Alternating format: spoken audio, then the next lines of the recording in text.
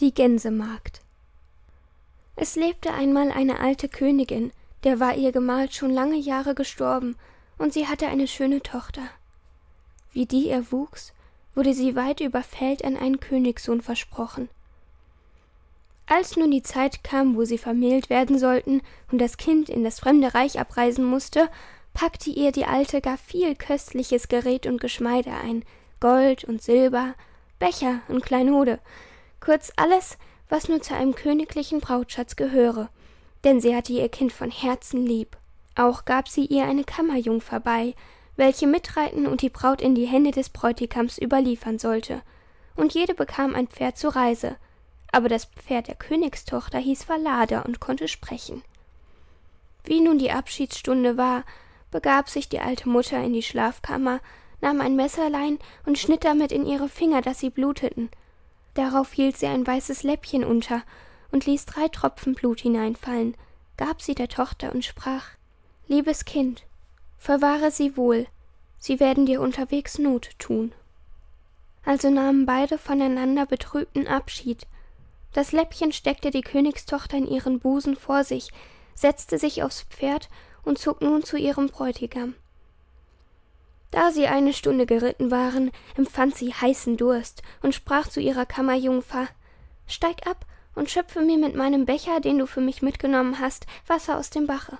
Ich möchte gern einmal trinken. Wenn ihr Durst habt, sprach die Kammerjungfer, so steigt selber ab, legt euch ans Wasser und trinkt. Ich mag eure Magd nicht sein. Da stieg die Königstochter vor großem Durst herunter, neigte sich über das Wasser im Bach und trank und durfte nicht aus dem goldenen Becher trinken. Da sprach sie Ach Gott. Da antworteten die drei Blutstropfen Wenn das deine Mutter wüsste, das, das Herz, Herz im Leibe tät ihr zerspringen. Aber die Königsbraut war demütig, sagte nichts und stieg wieder zu Pferd. So ritten sie etliche Meilen weiter fort, aber der Tag war warm, die Sonne stach, und sie durstete bald von neuem.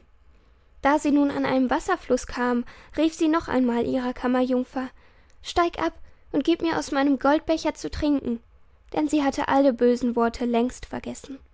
Die Kammerjungfer sprach aber noch hochmütiger Wollt ihr trinken, so trinkt allein, ich mag nicht eure Magd sein. Da stieg die Königstochter hernieder vor großem Durst, legte sich über das fließende Wasser, weinte und sprach Ach Gott, und die Blutstropfen antworteten wiederum Wenn, Wenn das deine Mutter wüsste, das Herz im Leibe tät ihr zerspringen. Und wie sie so trank und sich recht überlehnte, fiel ihr das Läppchen, worin die drei Tropfen waren, aus dem Busen und floß mit dem Wasser fort, ohne dass sie es in ihrer großen Angst merkte. Die Kammerjungfer hatte aber zugesehen und freute sich, dass sie Gewalt über die Braut bekäme, denn damit, dass diese die Blutstropfen verloren hatte, war sie schwach und machtlos geworden. Als sie nun wieder auf das Pferd steigen wollte, das da hieß Falada, sagte die Kammerfrau Auf Falada gehör ich, und auf mein Gaul gehörst du. Und das musste sie sich gefallen lassen. Dann befahl ihr die Kammerfrau mit harten Worten, die königlichen Kleider auszuziehen und ihre schlechten anzulegen, und endlich musste sie sich unter freiem Himmel verschwören, dass sie am königlichen Hof keinem Menschen etwas davon sprechen wollte, und wenn sie diesen Eid nicht abgelegt hätte, wäre sie auf der Stelle umgebracht worden. Aber Falada sah das alles und nahm's wohl in Acht. Die Kammerfrau stieg nun auf Falada und die wahre Braut auf das schlechte Ross, und so zogen sie weiter, bis sie endlich in dem königlichen Schlosse eintrafen. Da war große Freude über ihre Ankunft, und der Königssohn sprang ihnen entgegen, hob die Kammerfrau vom Pferde und meinte, sie wäre seine Gemahlin. Sie war die Treppe hinaufgeführt. Die wahre Königstochter aber musste unten stehen bleiben. Da schaute der alte König aus dem Fenster und sah sie im Hof halten und sah, wie sie fein war, zart und gar schön, ging alsbald hin ins königliche Gemach und fragte die Braut nach der, die sie bei sich hätte, da unten im Hofe stände, und wer sie wäre. Die habe ich mir unterwegs mitgenommen zur Gesellschaft. Gib der Magd etwas zu arbeiten, dass sie nicht müßig steht. Aber der alte König hatte keine Arbeit für sie und wusste nichts, als dass er sagte Nun, da habe ich so einen kleinen Jung, der hütet die Gänse, dem mag sie helfen. Der Junge hieß Kürtchen, und dem musste die wahre Braut helfen, Gänse zu hüten. Bald aber sprach die falsche Braut zu dem jungen König Liebster Gemahl, ich bitt euch, tut mir einen Gefallen. Er antwortete Ja, das will ich gerne tun. Nun, so lass den Schinder rufen und da dem Pferde, worauf ich hergeritten bin, den Hals abhauen, weil es mich unterwegs geärgert hat. Eigentlich aber fürchtete sie, dass das Pferd sprechen möchte, wie sie mit der Königstochter umgegangen war. Nun war das so weit geraten, dass es geschehen und der treue Verlader sterben sollte. Da kam es auch der rechten Königstochter zu Ohr, und sie versprach dem Schinder heimlich ein Stück Geld, das sie ihm bezahlen wollte, wenn er ihr einen kleinen Dienst erweise. In der Stadt war ein großes, finsteres Tor, wo sie abends und morgens mit den Gänsen durch musste. Unter das finstere Tor möchte er dem Verlader seinen Kopf hinnageln, dass sie ihn doch noch mehr als einmal sehen könnte. Also versprach das der Schindersknecht zu tun, hieb den Kopf ab und nagelte ihn unter das finstere Tor fest. Des Morgens früh, da sie und Kürtchen unterm Tor hinaustrieben, sprach sie im Vorbeigehen O du Verlader, da du hangest. Da antwortete der Kopf O du Jungferkönigin, da du gangest, wenn das deine Mutter wüsste, ihr Herz tät ihr zerspringen. Da zog sie still weiter zur Stadt hinaus, und sie trieben die Gänse aufs Feld. Und wenn sie auf der Wiese angekommen war, saß sie nieder und machte ihre Haare auf. Die waren eitel Gold, und Kürtchen sah sie und freute sich, wie sie glänzten, und wollte ihr ein paar ausrupfen. Da sprach sie Weh, weh, Windchen, nimm Kürtchen sein Hütchen und lassen mit sich jagen, bis ich mich geflochten und geschnatzt und wieder aufgesatzt. Und da kam ein so starker Wind, dass er dem Kürtchen sein Hütchen wegwehte über alles Land, und es musste ihm nachlaufen. Bis es wiederkam, war sie mit dem Kämmen und Aufsetzen fertig, und es konnte keine Haare kriegen. Da war Kürtchen bös und sprach nicht mit ihr. Und so hüteten sie die Gänse, bis dass es Abend ward. Dann gingen sie nach Haus. Den andern Morgen, wie sie unter dem finsteren Tor hinaustrieben, sprach die Jungfrau O du Falada, da du hangest.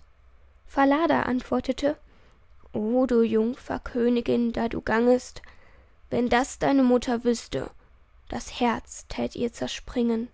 Und in dem Feld setzte sie sich wieder auf die Wiese und fing an, ihr Haar auszukämmen. Und Kürtchen lief und wollte danach greifen. Da sprach sie schnell: Weh, weh, Windchen, nimm Kürtchen sein Hütchen und lassen mit sich jagen, bis dass ich mich geflochten und geschnatzt und wieder aufgesatzt. Da wehte der Wind und wehte ihm das Hütchen vom Kopf weit weg, das Kürtchen nachlaufen musste.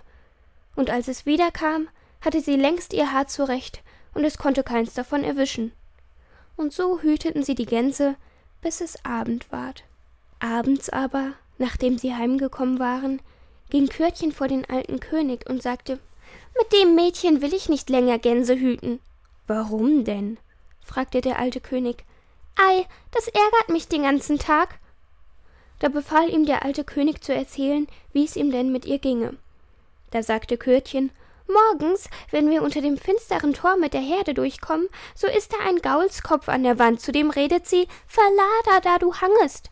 Da antwortete der Kopf, O du Königstochter, da du gangest, wenn das deine Mutter wüsste, das Herz tät ihr zerspringen. Und so erzählte Kürtchen weiter, was auf der Gänsewiese geschehe und wie es da dem Hut im Winde nachlaufen müsste. Der alte König befahl ihm, den nächsten Tag wieder hinauszutreiben, und er selbst, wie es Morgen war, setzte sich hinter das finstere Tor und hörte da, wie sie mit dem Haupt des Verladers sprach. Und dann ging er auch nach in das Feld und barg sich in einem Busch auf der Wiese. Da sah er nun bald mit seinen eigenen Augen, wie die Gänsemagd und der Gänsejunge die Herde getrieben brachten und wie nach einer Weile sie sich setzte und ihre Haare losflocht, die strahlten vor Glanz. Gleich sprach sie wieder Weh, weh, Windchen, nimm Kürtchen sein Hütchen und lassen mit sich jagen, bis ich mich geflochten und geschnatzt und wieder aufgesatzt. Da kam ein Windstoß und fuhr mit Kürtchens Hut weg, dass es weit zu laufen hatte, und die Magd kämmte und flocht ihre Locken still fort, welches der alte König alles beobachtete. Darauf ging er unbemerkt zurück, und als abends die Gänsemagd heimkam, rief er sie beiseite und fragte, warum sie dem allem so täte. Das darf ich euch nicht sagen und darf auch keinem Menschen mein Leid klagen, denn so habe ich mich unter freiem Himmel verschworen, weil ich sonst um mein Leben gekommen wäre. Er drang in sie und ließ ihr keinen Frieden, aber er konnte nichts aus ihr herausbringen. Da sprach er Wenn du mir nichts sagen willst, so klag dem Eisenofen da dein Leid, und ging fort. Da kroch sie in den Eisenofen, fing an zu jammern und zu weinen, schüttete ihr Herz aus und sprach Da sitze ich nun von aller Welt verlassen und bin noch eine Königstochter, und eine falsche Kammerjungfer hat mich mit Gewalt dahin gebracht, dass ich meine königlichen Kleider habe ablegen müssen, und hat meinen Platz bei meinem Bräutigam eingenommen. Und ich, ich muss als Gänsemagd gemeine Dienste tun. Wenn das meine Mutter wüsste, das Herz im Leib tät ihr zerspringen. Der alte König stand aber außen an der Ofenröhre, lauerte ihr zu und hörte, was sie sprach. Da kam er wieder herein und hieß sie aus dem Ofen gehen. Da wurden ihr königliche Kleider angetan, und es schien ein Wunder, wie es so schön war. Der alte König rief seinen Sohn und offenbarte ihm, dass er die falsche Braut hätte. Die wäre bloß ein Kammermädchen, die wahre aber stände hier als gewesene Gänsemagd. Der junge König war herzensfroh, als er ihre Schönheit und Tugend erblickte, und ein großes Mahl wurde angestellt, zu dem alle Leute und guten Freunde gebeten wurden. Obenan saß der Bräutigam, die Königstochter zu einer Seite und die Kammerjungfer zu anderen, aber die Kammerjungfer war verblendet und erkannte jene nicht mehr in dem glänzenden Schmuck. Als sie nun gegessen und getrunken hatten und gutes Muts waren, gab der alte König der Kammerfrau ein Rätsel auf, was eine solche wert wäre, die den Herrn so und so betrogen hätte, erzählte damit den ganzen Verlauf und fragte Welches Urteil ist diese würdig? Da sprach die falsche Braut Sie ist nichts Besseres wert, als dass sie aus dem Lande gejagt wird. Das bist du, sprach der alte König, und du hast dein eigen Urteil gefunden, und danach soll dir widerfahren und als das Urteil vollzogen war, vermählte sich der junge König mit seiner rechten Gemahlin, und beide beherrschten ihr Reich in Frieden und Seligkeit.